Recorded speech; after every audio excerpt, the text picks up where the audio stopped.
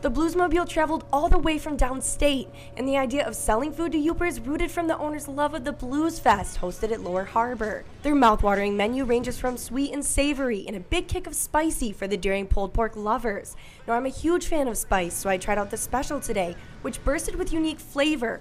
And it's not a barbecue without a couple sides. But sadly, those homemade recipes can't be shared. My potato salad is a loaded baked potato salad. It's unique. It's not your traditional potato salad. Everybody seems to really enjoy it. Got a special that we're running today that's uh, called the MB Slider, and it's kind of a special concoction I come up with, and hope everybody tries it and enjoys it. a little bit of nervous, you know, quitting jobs and starting a new adventure. The owner said this new adventure is their dream, and bringing the truck to the UP is a check off the bucket list.